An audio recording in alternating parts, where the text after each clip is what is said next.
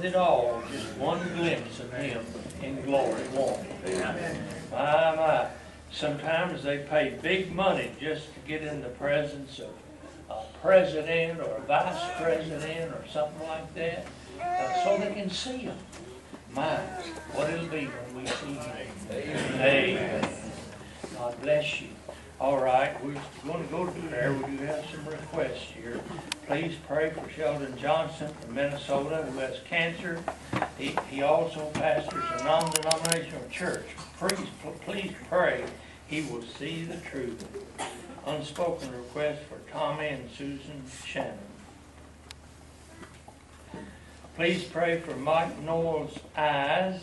He had surgery on the right eye this past Thursday. Please pray for Charlene Jackson. And please pray for Brother Terry Schuller. Uh, please pray for A, I don't know, A1, AL Cummins and family. Please pray for Teresa Sargent. Mother, cancer has moved into her brain. Please pray for her salvation. And please pray for Brother Joseph Sargent, urgent prayer request. And please pray for uh, Jackson. And uh, Brother Sterling from St. Louis wants prayer for his sister, a physical problem. Please pray for uh, Warren McDonald having make.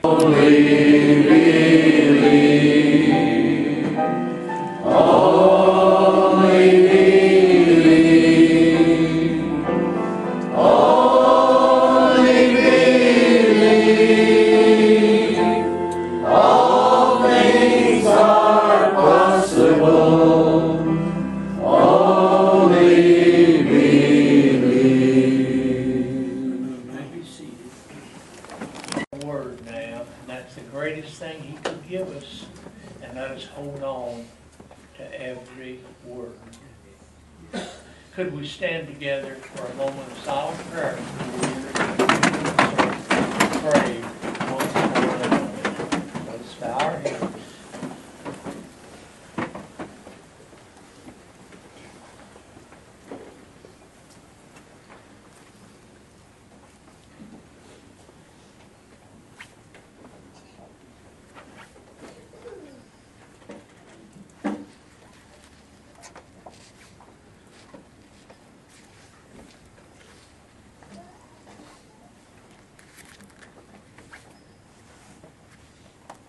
Father, how we love you tonight.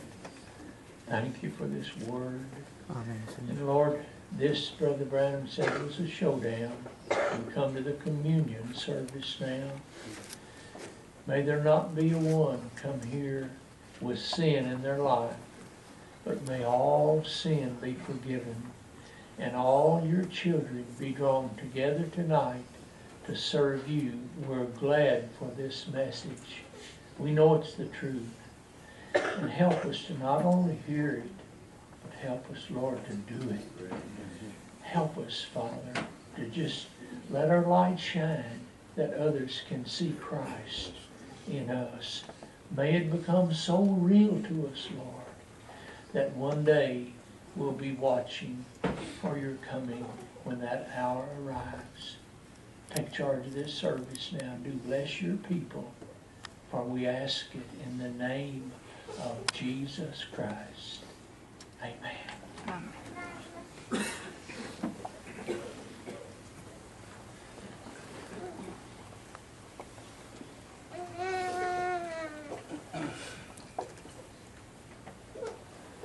For I have received of the Lord that which also I delivered unto you, that the Lord Jesus, the same night in which he was betrayed, took bread. And when he had given thanks, he brake it and said, Take, eat. This is my body which is broken for you. This do in remembrance of me. After the same manner also he took the cup when he had supped, saying, This cup is in the New Testament in my blood. This do ye as often as you drink it in remembrance of me. For as often as you eat this bread and drink this cup, ye do shew forth the Lord's death till he come. Wherefore, whosoever shall eat this bread and drink this cup of the Lord unworthily shall be guilty of the body and blood of the Lord. But let a man examine himself, and so let him eat of that bread and drink of that cup. For he that eateth and drinketh unworthily eateth and drinketh damnation to himself, not discerning the Lord's body. For this cause many are sickly, weak and sickly among you, and many sleep. For if we would judge ourselves, we should not be judged. But when we are judged, we're chastened of the Lord, that we should not be condemned with the world. Wherefore, my brethren, when you come together to eat, tarry one for another. And if any man hunger, let him eat at home, and you come not together in condemnation, and the rest will I set in order when I come. Amen.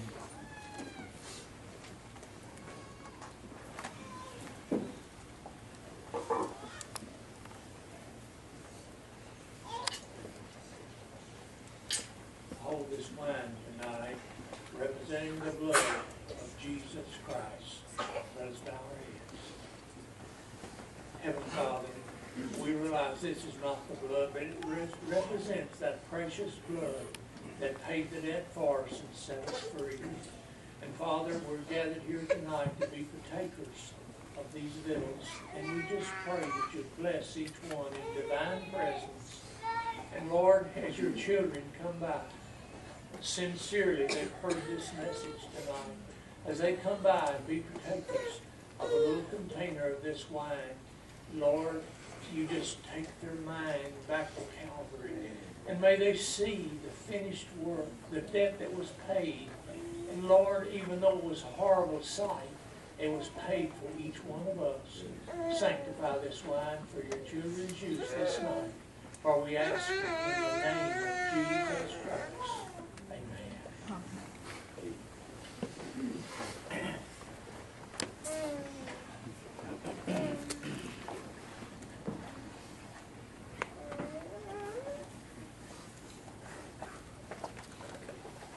I hold this bread tonight, representing the body of the Lord Jesus. Let us bow our heads. Heavenly Father, we realize this is not the body, but it represents that precious body that you chose to dwell in. You brought here on earth for that purpose. And Lord, we're so glad that we can come together knowing that this is ordered of the Lord tonight. And we appreciate your presence among us. We appreciate that message that you've let go forth here tonight. What a blessing it is to your hungry children. And Father, if there's any sick among us, we trust there's not, but if there is, may sickness leave your children this night. May the enemy be so defeated, you have to leave the place, and your children can be happy. Sanctify this bread tonight for your children's use. We ask it in the name of Jesus Christ. Amen. Amen.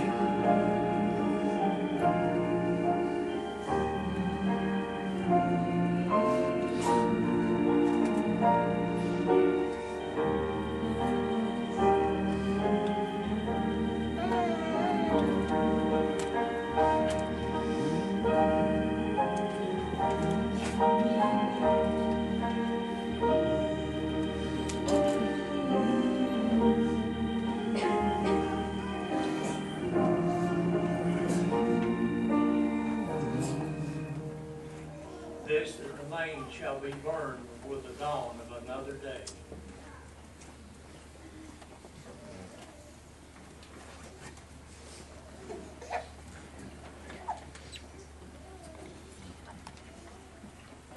Supper being ended, the devil having now put in the heart of Judas Iscariot, Simon's son, to betray him, Jesus, knowing that the Father had given all things in his hands, it was come from God, and went to God. He rose from supper, laid aside his garments, and took a towel and girded himself. After that he poured water into a basin and began to wash the disciples' feet, and wiped them with the towel wherewith he was girded. Then cometh he to Simon Peter, and Peter saith unto him, Lord, dost thou wash my feet? Jesus answered and said unto him, What I do thou knowest not now, but thou shalt know hereafter. Peter saith unto him, Thou shalt never wash my feet. Jesus answered him, If I wash thee not, thou hast no part with me. Simon Peter saith unto him, Lord, not my feet only, but also my hands and my head. Jesus saith unto him, He that is washed needeth not save to wash his feet, but is clean every whit, and you're clean, but not all. For you who should betray him, therefore said he, You are not all clean. So after he had washed their feet and taken his garments and sat down again, he said to them, Know ye what I have done to you? You call me Master and Lord, and you say, Well, for so I am. If I then, your Lord and Master, have washed your feet, ye also ought to wash one another's feet. For I've you an example that ye should do as I've done to you. Verily, verily, I say unto you, that servant is not greater than his Lord, neither he that is sent greater than he that sent him. If you know these things, happy are ye if you do them. And we will be adjourning for feet washing in just a little bit. Men will go to the trailers, women be washing back here. Before we go, let us stand together.